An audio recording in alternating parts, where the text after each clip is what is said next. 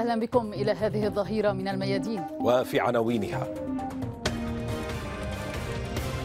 لا يوجد هدف إسرائيلي في البر أو في البحر لا تطاله صواريخ المقاومة الدقيقة.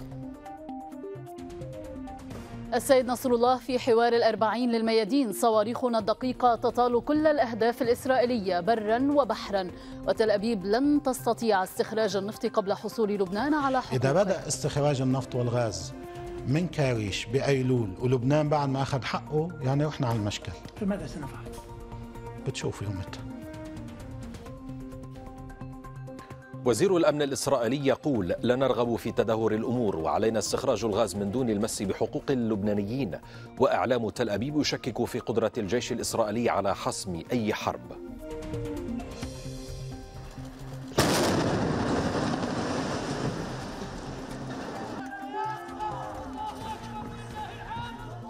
على وقع الهتافات المنددة بممارساته والمتمسكة بالمقاومة. الاحتلال يفجر منزلي منفذي عملية أرئيل في سلفية شمال الضفة.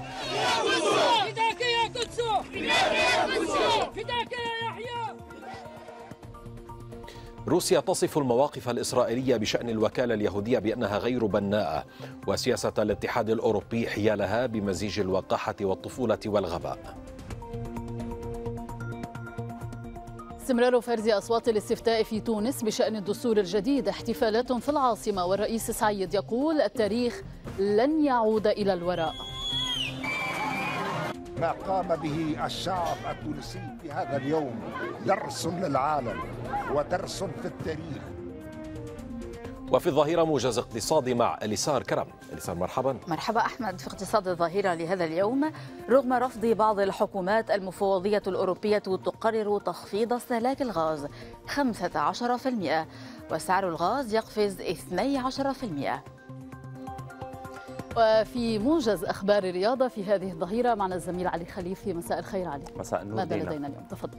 في رياضة الظهيرة الدون في طريقه لاستعادة مكانه في تمارين مانشستر يونايتد الإنجليزي.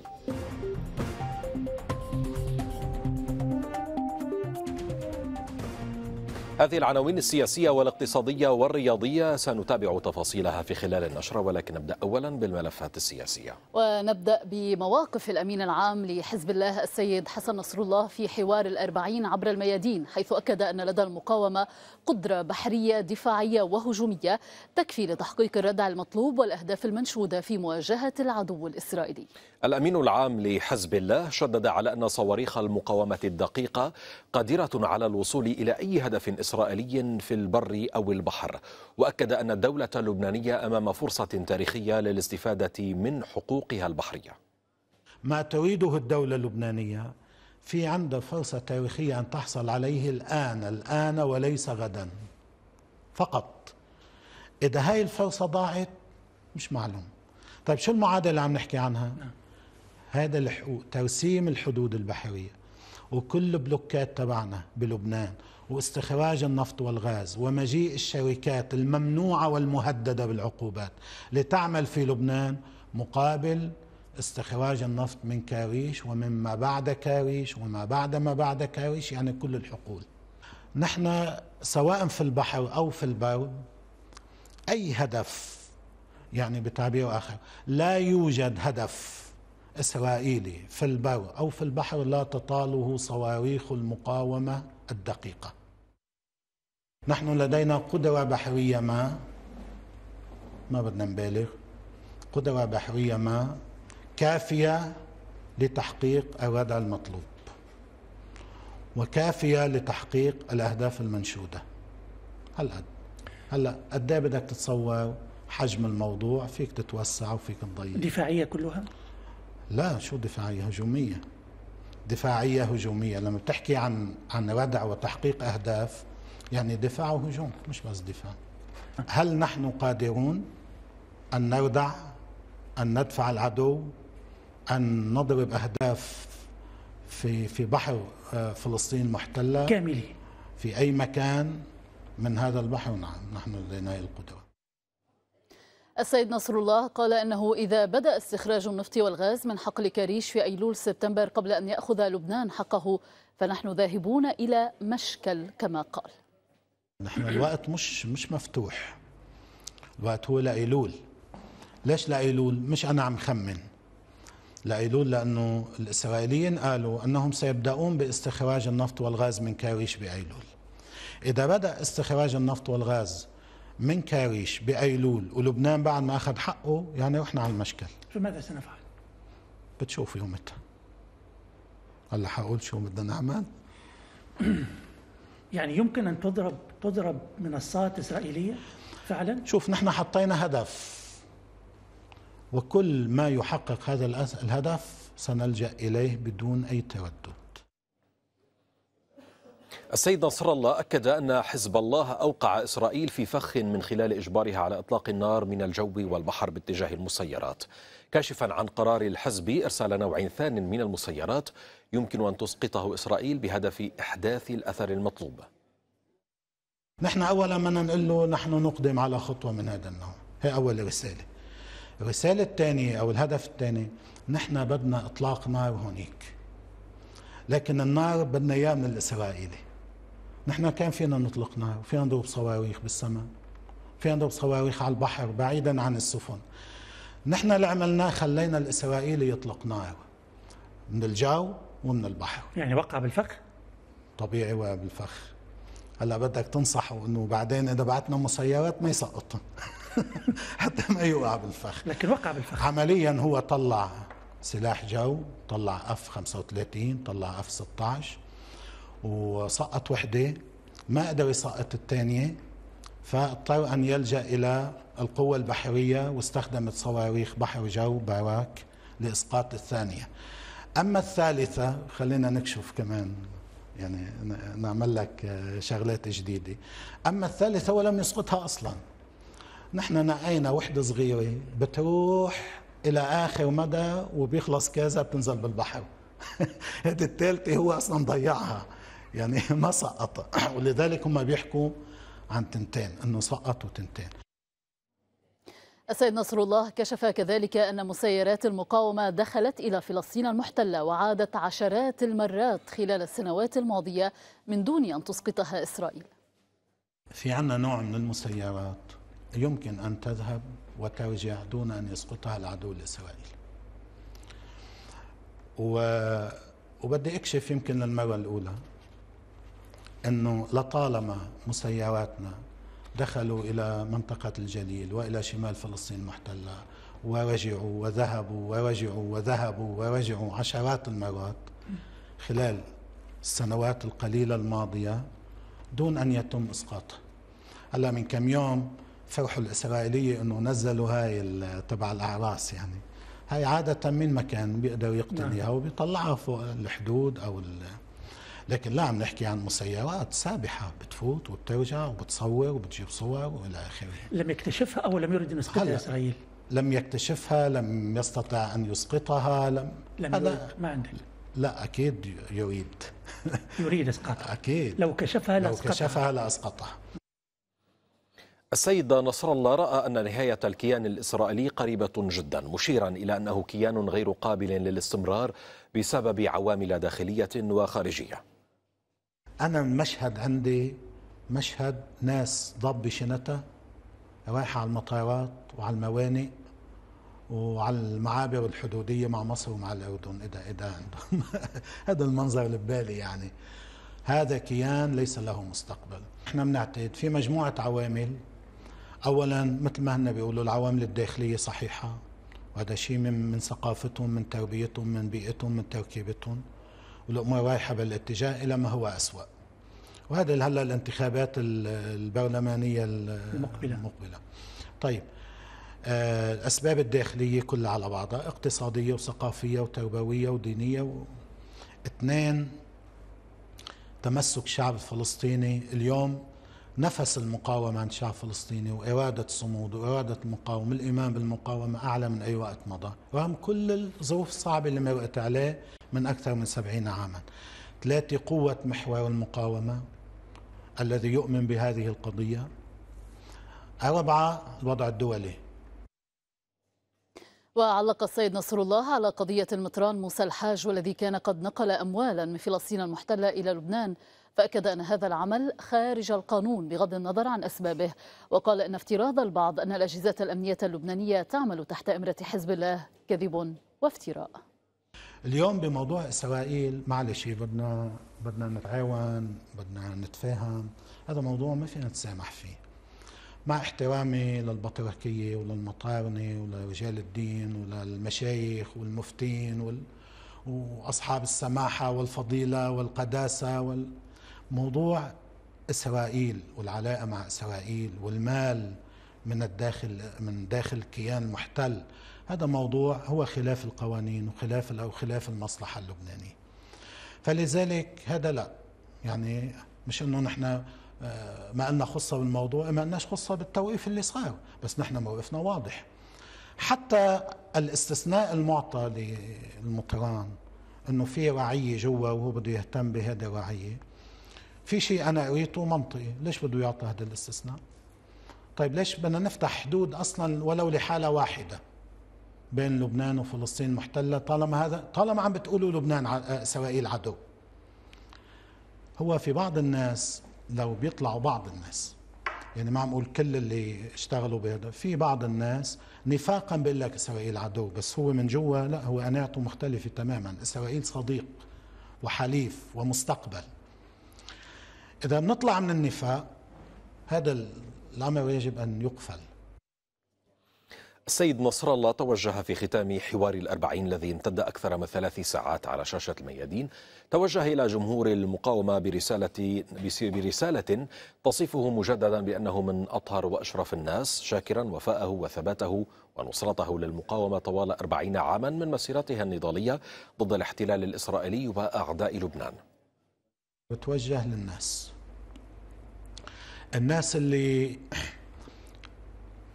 نحن ما بنجاملهم لما بنقول أشرف الناس وأكرم الناس وأطهر الناس هلا شوي.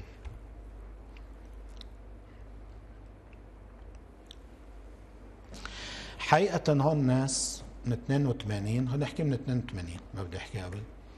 من هاي مسيرة حزب الله اللي هاي الأيام عم نحتفل بالأربعون ربيعا.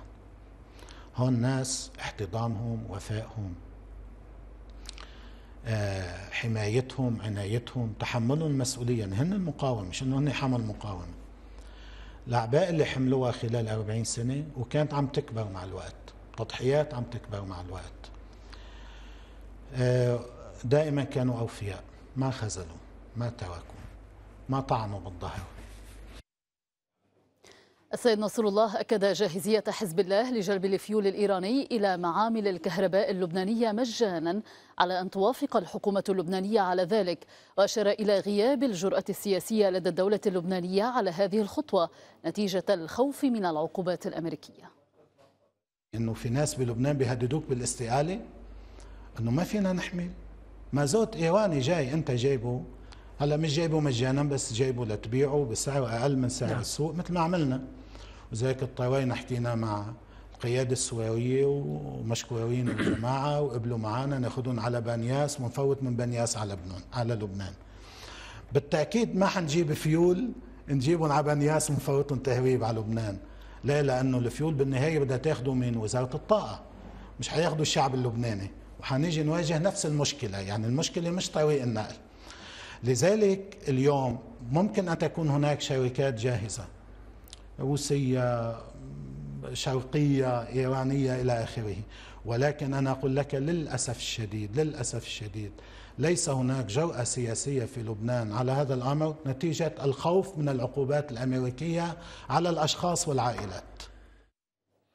إلى ذلك أبدى وزير الطاقة والمياه في حكومة تصريف الأعمال وليد فياض ترحيبه كوزارة بأي هبة تأتي من دولة صديقة في العالم. وأشار كذلك إلى أن وزارته أعدت مواصفات لفيول اللازم لمعامل الإنتاج وذكر بأن المادة الثانية والخمسين من قانون المحاسبة العمومية حددت الأصول لقبول الهبات وذلك بمرسوم يتخذ في مجلس الوزراء لا وزارة الطاقة.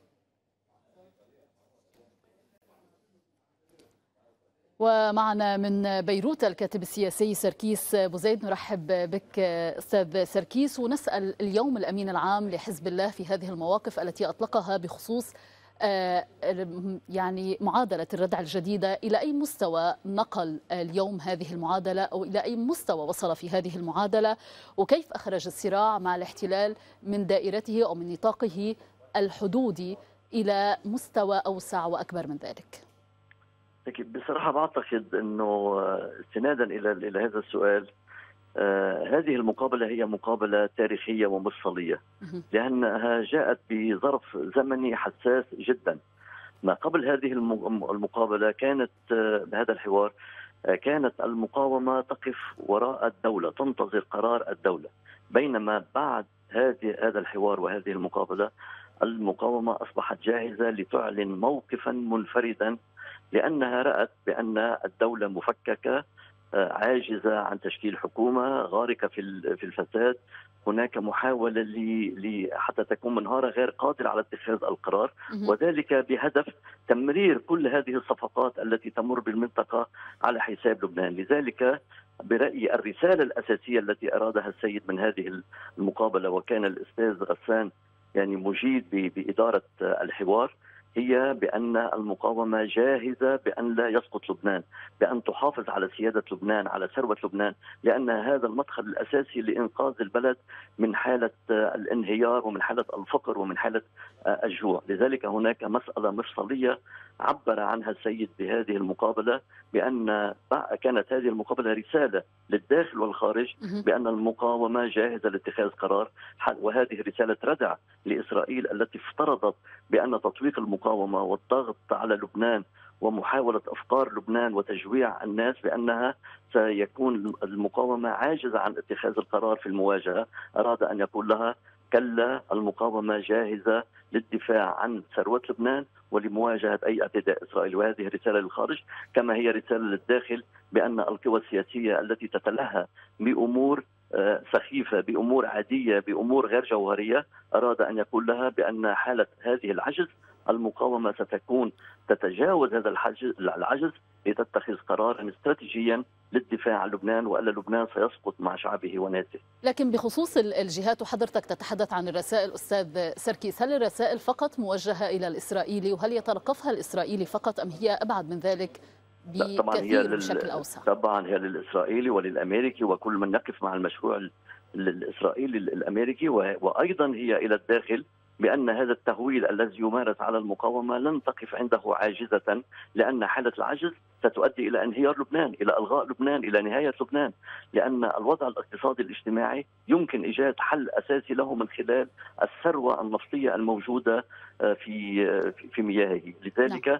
أراد أن يقول للناس للشعب بأن المقاومة جاهزة للدفاع عن هذه الثروة من أجل إنقاذ الوضع الاقتصادي الاجتماعي والمحافظة على سياده هذا بخصوص الداخل لكن عفوا بخصوص الخارج. إسرائيل كيف تتلقف هذه الرسائل وهذا المستوى آه، من معادلة الردع الذي وصل إليه الأمين العام لحزب الله السيد حسن نصر الله الولايات المتحدة الأمريكية كيف تفهم كيف تتلقف هذه الرسائل؟ نحن على بعد أيام قليلة من عودة المبعوث الأمريكي آه، إلى آه، لبنان.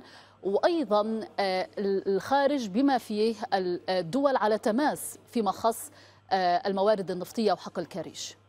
كمان أكد على ذلك السيد حسن بأن إسرائيل ليست القضاء والقدر بأنها لم تعد القوة القادرة بأن تكون المهيمن والحاسم بكل النقاط، هناك نقاط ضعف أساسية في إسرائيل من خلال التناقضات الداخلية الموجودة وبأن إسرائيل هي على طريق آه، النهاية وأنا منذ سنة أصدرت كتاب عنوانه إسرائيل إلى نهايتها لأن من يقرأ التصاريح الإسرائيلية ومن يحلل البنية والكيان الإسرائيلي يدرك بأن هذا الكيان لا يستطيع أن يستمر مهما طال الزمن هناك نقاط ضعف وإسرائيل عاجزة عن شن حرب شاملة كما البعض يفترض أو أن أو أن تخوض مواجهة شاملة مع المقاومة وحلفائها لأن نعم. هناك نقاط ضعف داخل إسرائيل داخل بنية آه، إسرائيل لذلك الرسالة واضحة بأن المقاومة تنتظر أو كانت آه، بحالة هدنة ولكن هي جاهزة للرد على أي اعتداء من قبل إسرائيل بهذا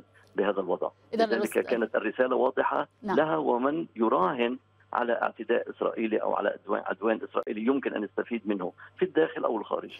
الأستاذ سركيس بوزيد الكاتب السياسي حدثنا من العاصمة اللبنانية بيروت شكرا جزيلا لحضرتك. على أذان مصغية في إسرائيل وقعت تهديدات الأمين العام لحزب الله السيد حسن نصر الله التي أطلقها في مقابلته ضمن حوار الأربعين عبر الميادين. وقد دعا مراقبون إسرائيليون إلى أخذ هذه التهديدات على محمل الجد وسط مخاوف من تعاظم قوى المقاومة في لبنان وفلسطين وتشكيك في قدرة الجيش الإسرائيلي على حسم أي حرب في البر. تقرير منال إسماعيل. لم ينتظر وزير الأمن الإسرائيلي بني جانتس طويلا حتى يعلق على الرسائل والتهديدات التي أطلقها الأمين العام لحزب الله السيد حسن نصر الله في مقابلته مع قناة الميادين. لم أستمع إلى المقابلة كلها بنفسي لكنني تلقيت استعراضا لما قاله. نحن في وضع حساس في الشمال. آمل ألا تتدهور الأمور إلى حرب أو إلى عدة أيام من القتال. لكن علينا الدفاع عن حقوقنا وعن قدرتنا على استخراج الغاز من مصادرنا من دون المس باللبنانيين. بل على العكس نحن مستعدون ونرغب في التوصل إلى اتفاق. كلام غانتس ترافق مع اهتمام إعلامي إسرائيلي واسع بكلام السيد نصر الله في المقابلة ولا سيما المتعلق منها بالنزاع البحري واستخراج الغاز وقدرات حزب الله في أي مواجهة مقبلة. حزب الله نصر الله مستمر في إطلاق التهديدات في كل ما يتعلق بالنزاع البحري بين لبنان وإسرائيل وفي مقابلة مطولة مع قناة الميادين أوضح نصر الله أنه إذا استخرجت إسرائيل الغاز من كريش في أيلول سبتمبر من دون حصول لبنان على حقوقه فستكون هناك مشاكل. يبدو أن نصر الله يشدد النبرة من خطاب إلى خطاب. مراقبون دعوا إلى عدم الركون لتقديرات الاستخبارات الإسرائيلية التي قد لا تكون دقيقة في كل ما يتعلق بالمواجهة مع حزب الله. التقدير الاستخباري يقول إن نصر الله سينجز الحل لكن لا يمكن أن نعتمد على هذا التقدير. فقدرات حزب الله لا تقارن بغزة وهي أعلى بكثير مع قدرات صاروخية مهمة بعيدة المدى ودقيقة وثقيلة. وهذا ما يجب على الجيش الإسرائيلي أن يستعد له. وعلى إسرائيل أن تفهم بأن هذه المواجهة إذا اندلعت فستكون مواجهة مهمة. وفيما توقف مراقبون عند حدة نبرة الأمين العام لحزب الله التهديدية دعا آخرون إلى عدم الاستخفاف بها والاستعداد للسيناريو الأسوأ. وبالتوازي استمرت اعتداءات الاحتلال ضد الفلسطينيين وقد هدمت جرافاته منزلي منفذي عملية أرئيل الأسيرين يحيى مرعي ويوسف عاصي في سلفيت فجر اليوم. وتفقد الفلسطينيون اليوم مكان التفجير حيث رفعوا العلم الفلسطيني ورددوا الهتافات الداعمة للمقاومة والقدس والأقصى. هذا فيما أكد والد الأسير يحيى مرعي بعيد هدم الاحتلال منزله أن هدم البيوت والقمع لن يردعا الشعب الفلسطيني عن المطالبة بحقه.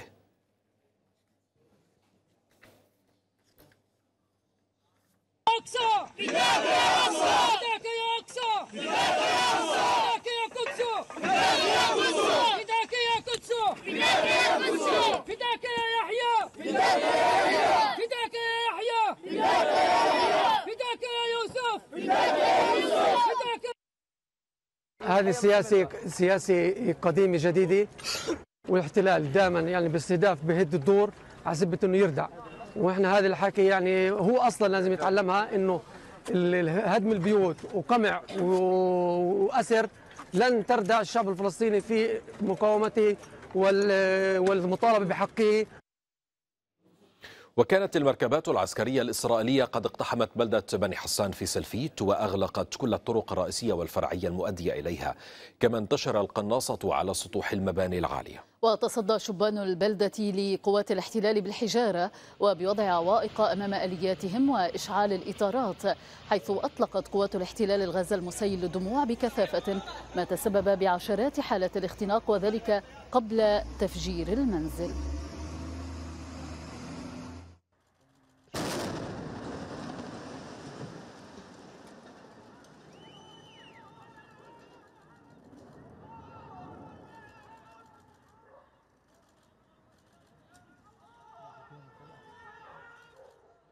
وفي ملف الأسرى أكدت مؤسسة مهجة القدس نقل مصلحة سجون الاحتلال للأسير محمد العارضة أحد أبطال عملية نفق الحرية من عزل سجن إيشل إلى إلى عزل سجن أيالون وأضافت المؤسسة أنه تم نقل الأسير إياد جردات ومحمد أبو بكر من عزل سجن رامون إلى عزل سجن أيالون وكانت قوات الاحتلال قد أقدمت منذ يومين على نقل الأسير محمود العارضة من عزل سجن رامون إلى عزل سجن ريمونيم.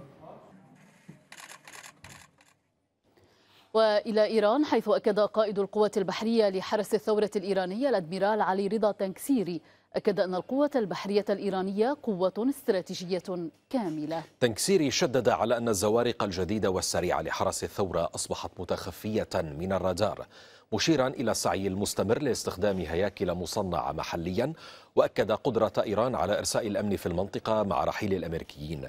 وكشف انضمام سفينة الشهيد سليماني الحربية الفريدة في نوعها إلى بحرية حرس الثورة قريبا.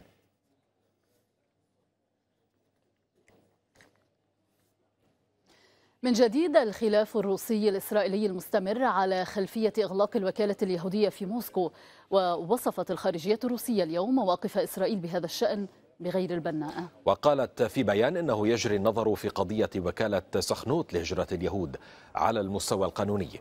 الخارجية الروسية أعربت عن أسفها للسياسة التي تنتهجها إسرائيل في الأشهر الأخيرة بما في ذلك موقف تل أبيب من الوضع في أوكرانيا. وفي هذا السياق أفادت وسائل إعلام إسرائيلية بأن تل أبيب بصدد توسيع أنشطة مساعداتها لأوكرانيا. هيئة البث الإسرائيلية كان كشفت تحويل الخارجية الإسرائيلية تمويلا رسميا لمنظمات الإغاثة المدنية الأوكرانية الناشطة للمرة الأولى ونقلت عن الخارجية قولها أنها تعمل على تقديم مساعدات إلى أوكرانيا بطرق مختلفة إن كانت مباشرة أو بالتعاون مع طرف ثالث يعمل في أوكرانيا مشيرة إلى أنه لا علاقة بين أنشطة المساعدات لأوكرانيا والعلاقات الروسية الإسرائيلية.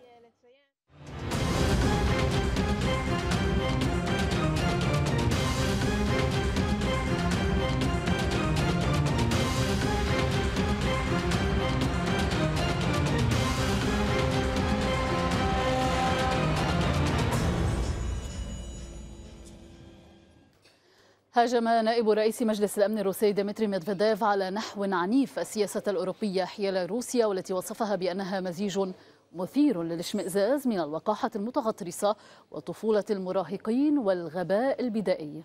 مدفيديف وفي منشور على قناته على تيليجرام أشار إلى أن الاتحاد الأوروبي أعلن منذ البداية نيته معاقبة روسيا بشدة وقرر تمزيق الاقتصاد الروسي عبر فرض عقوبات شاملة على قطاع الطاقة من دون أن يقدروا الثمن الباهظ الذي عليهم دفعه.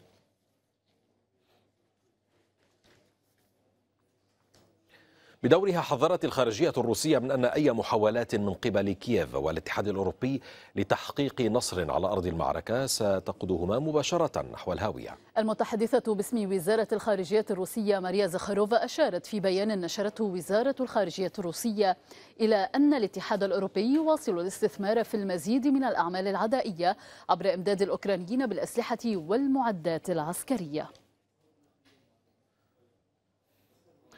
من جهته أكد وزير الخارجية الروسي سيرجي لافروف أن أوروبا أغلقت السيل الشمالي اثنين لأسباب سياسية وقال إنه على الرغم من جاهزية السيل لتلبية احتياجات أوروبا من الغاز أغلق لأسباب سياسية بحت.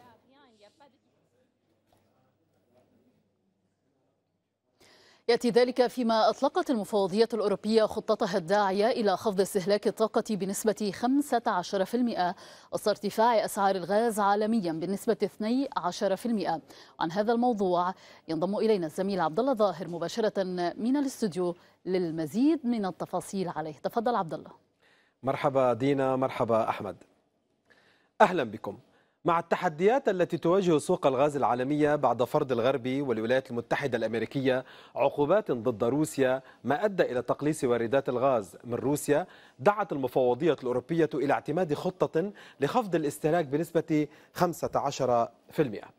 أسس الخطة خفض استهلاك الطاقة وتقليص المصروف والحد من التدفئة وتكييف الهواء في المباني العامة والتجارية فإيطاليا مثلا ستمنع استخدام تكييف الهواء إلا إذا وصلت درجة الحرارة إلى 27 درجة مئوية. إسبانيا أطلقت خطة كفاءة الطاقة التي تدعو الموظفين إلى العمل عن بعد أكثر أو ركوب وسائل النقل العام والدراجة الهوائية أو إطفاء الأنوار في الإدارات ألمانيا مثلا أكبر مستهلك للغاز في أوروبا ستطلق خطة استراتيجية لتخزين الغاز بنسبة 75% من حاجتها بحلول شهر أيلول سبتمبر المقبل. أبرز المتضررين ألمانيا لكونها أكبر المستوردين والمستهلكين للغاز الروسي بمقدار 142 مليار متر مكعب من الغاز ونحو 34% من النفط الخام الألماني يأتي عادة من روسيا. بدورها فرنسا تستورد نحو 17% من احتياجاتها من الغاز الروسي. فيما اتجهت إيطاليا والتي استهلكت 76 مليار متر مكعب من الغاز العام الماضي إلى دول بينها الكونغو، أنغولا، الجزائر وقطر لاستبدال 29 مليار متر مكعب من الغاز الروسي لكن السؤال هل تكفي جهود الاتحاد الأوروبي لتخطي الشتاء المقبل من دون غاز روسيا؟ الجواب لا لذا تتجه أوروبا نحو أهون الشرين من خلال زيادة استخدام الطاقات الملوثة والتحول إلى الفحم أو النفط أو الطاقة النووية.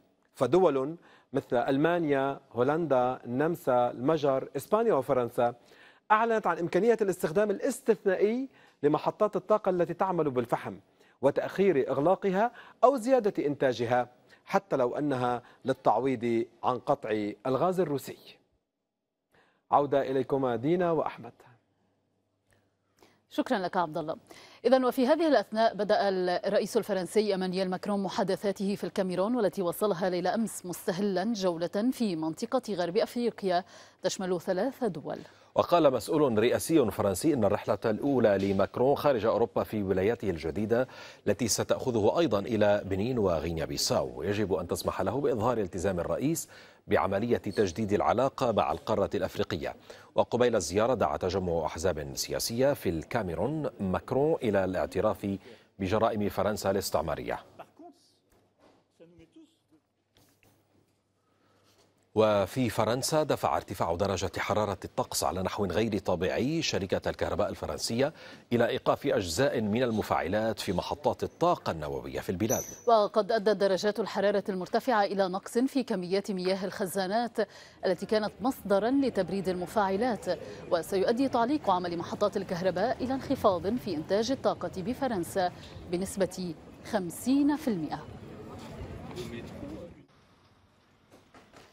إلى تايوان التي تواصل مناوراتها العسكرية والتي تحاكي وقوع هجوم جوي صيني محتمل. المناورات شاركت فيها سفن حربية هذا فيما دوت صفارات الإنذار لمدة 30 دقيقة في أجواء تحاكي تعرض تايوان للهجوم بغارات جوية في ظل تزايد التحذيرات الصينية من خطر تهديد أمنها الإقليمي.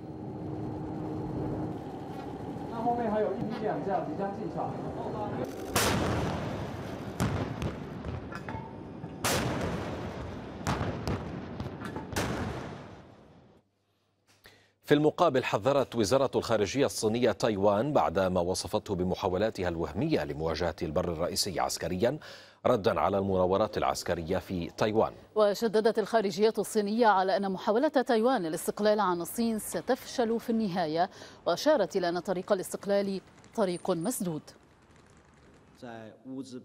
الطريق إلى استقلال تايوان هو طريق مسدود ومحاولة تايوان الوهمية لمواجهة البر الرئيسي عسكريا تشبه محاولة حشرة صغيرة لعرقلة عربة كبيرة وسوف تفشل في النهاية.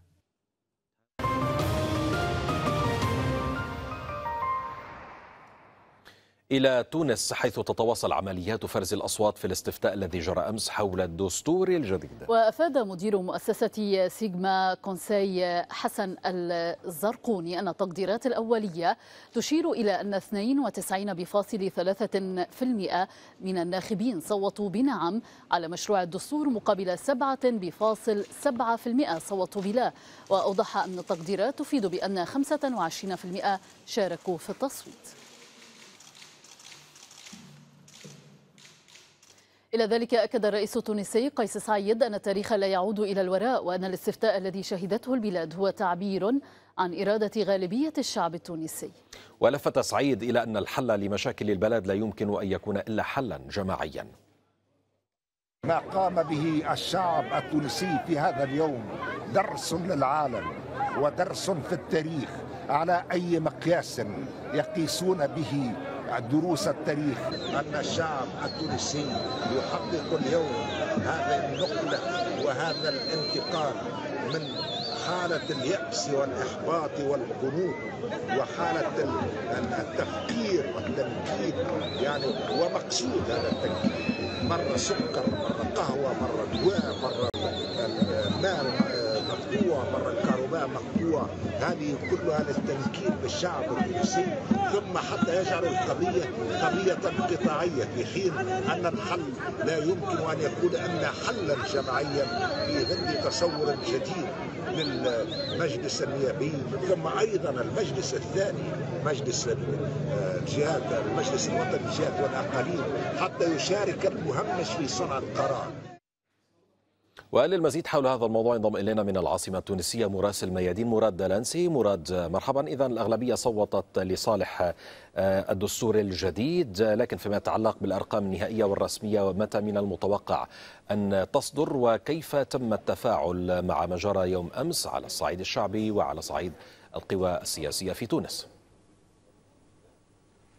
نعم أحمد الرقم الرسمي يتعلق بنسبة المشاركة وكان في حدود 27.5%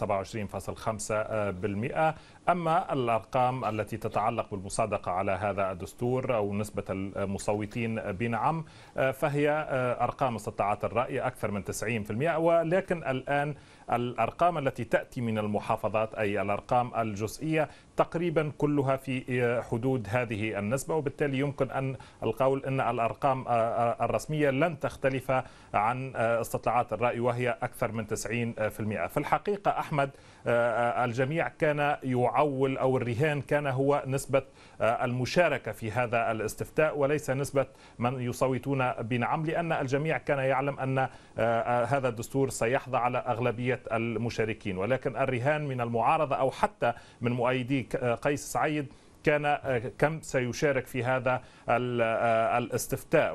وكان واضحا بعد خروج أو صدور نتائج نسبة المشاركه وهي 27% من جملة 9 ملايين على قائمة من يحق لهم الانتخاب بدأت ردود الأفعال مباشرة. جبهة الخلاص المعارضة مثلا اعتبرت أن هذه النسبة تعتبر أن الشعب التونسي أو الناخبين قد قاطعوا هذا الاستفتاء وهي رسالة إلى الرئيس التونسي وعليه الاستقالة ودعت إلى حوار وطني ينتهي بحكومة إنقاذ. حزب العمال كذلك منذ نصف ساعة تقريبا أصدر بيانا واعتبر أن هذه الأرقام تشير إلى أن الشعب التونسي قد قاطع الاستفتاء وأن هذه النسبة أفقدت الرئيس التونسي كل شرعية ومشروعية وأن يجب عدم الاعتراف بهذا الدستور. وكذلك دعت الرئيس قيس سعيد إلى الاستقالة. إذا من الواضح أن المعارضة كانت تعول على نسبة التصويت أو نسبة المشاركة لإعلان نعم. هذه المواقف. في مقابل ذلك مؤيدو الرئيس التونسي قيس سعيد يعتبرون أن ضعف الإقبال على المشاركة هو أمر طبيعي ومنذ انتخابات 2011 بدأت نسب المشاركة تتراجع ولكن في المقابل يعتبرون أن أكثر من مليوني تونسي صوتوا لصالح الدستور هي نعم. نسبة لم يتحصل عليها أي شخصية سياسية أو أي حزب سياسي لأن كانت الأحزاب تتقاسم من مجموع الناخبين وبالتالي أن يتحصل شخص واحد هو الرئيس التونسي فقط وبالتالي هذه النسبة تعطي مشروعية نعم إلى. الرئيس التونسي إذا الدستور التونسي ونتائج الاستفتاء يبدو أنها خلفت نوع يعني تواصلا للأزمة السياسية والسجال السياسي. شكرا جزيلا لك مراسل ميادين في تونس مراد الدلانسي. والآن إلى أخبار الاقتصاد مع الزميلة إليسار كرم. إليسار تفضلي. شكرا لك أحمد.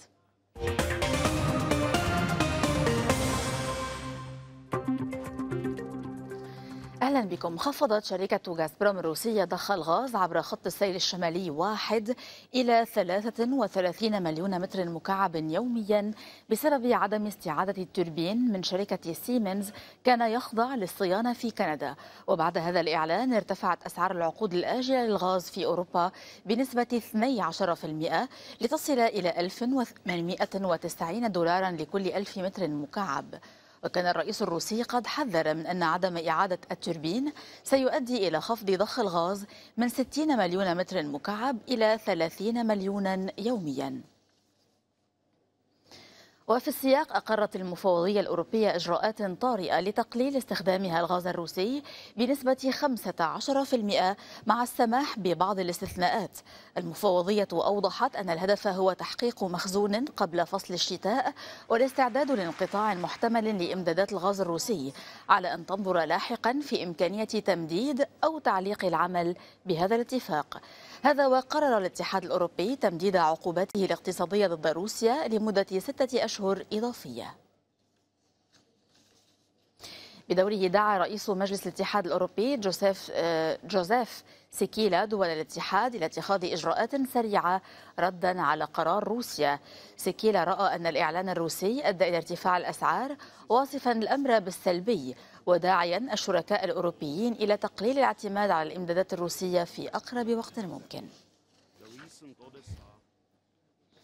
قالت صحيفة البايس الإسبانية إن الاتحاد الأوروبي وعلى خلفية أزمة طاقة المتفاقمة قد يواجه انقساما خطيرا داخله. وجاء في مقال في الصحيفة تحت عنوان الاتحاد الأوروبي يهتز. أن بروكسل على سبيل المثال تخشى من أن تؤدي إجراءات الاتحاد الاستثنائية مثل تقنين وخفض الاستهلاك الغاز إلى انقسامه ولفتت الصحيفة إلى أن اقتراح خفض الغاز في الاتحاد الأوروبي بنسبة 15% كشف عن انقسامات عميقة بين الدول الأعضاء تتجاوز مجال الطاقة.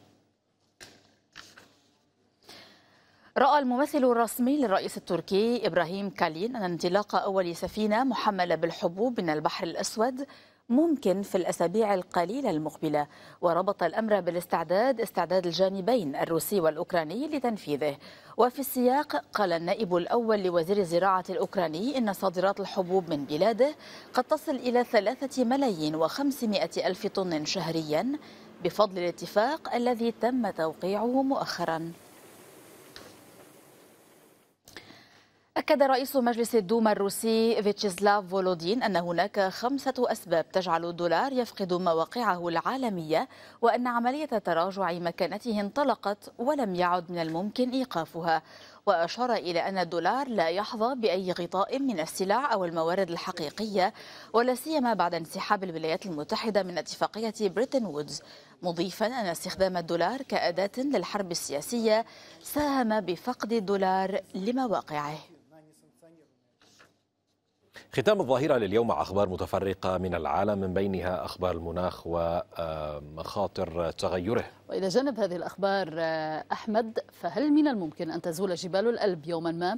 وفي أخبارنا المتفرقة أيضا تناول ما يمكن أو تناول ما يمكن أن يساعد المرأة الأيزيدية على نسيان ما مر عليها من صدمات على يد الإرهاب. والمزيد في فقرة 90 ثانية مع جراسيا بيتار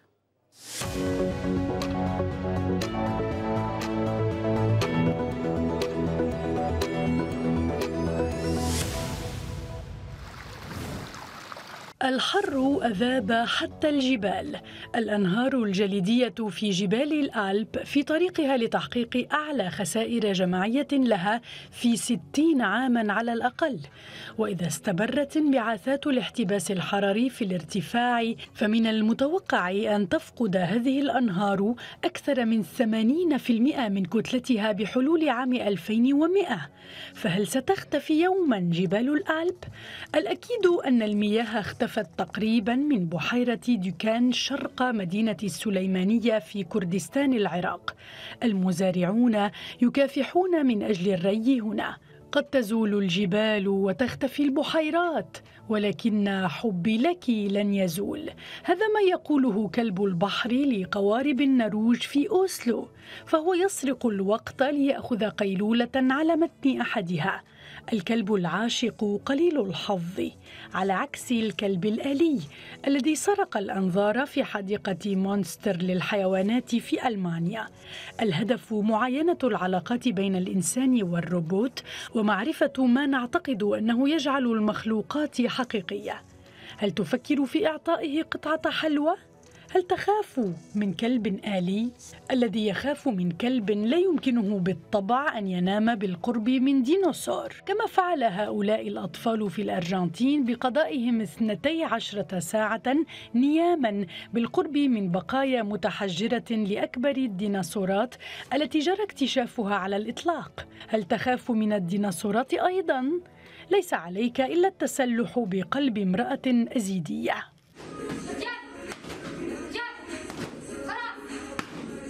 هي التي اختبرت الإرهاب عن قرب ها هي تشارك في دروس ملاكمة في زاخو لتتمكن من التعامل مع مشاكلها النفسية. فالصدمات يمكن أن تزول بالملاكمة وبالعيش من أجل السالسة مدينة كالي الكولومبية التي تحكي ميلادها على أنغام موسيقى تراثها الثقافي السالسا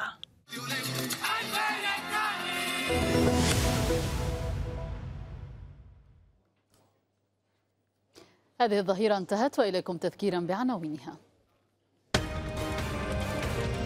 لا يوجد هدف إسرائيلي في البر أو في البحر لا تطاله صواريخ المقاومة الدقيقة.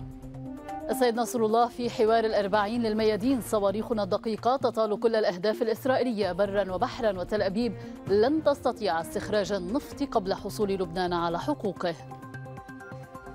إذا بدأ استخراج النفط والغاز من كاريش بأيلول ولبنان بعد ما أخذ حقه يعني رحنا على المشكل. فماذا سنفعل؟ بتشوفوا يومتها وزير الأمن الإسرائيلي يقول نرغ... لا نرغب في تدهور الأمور وعلينا استخراج الغاز من دون المس بحقوق اللبنانيين وإعلام تل أبيب يشكك في قدرة الجيش الإسرائيلي على حسم أي حرب.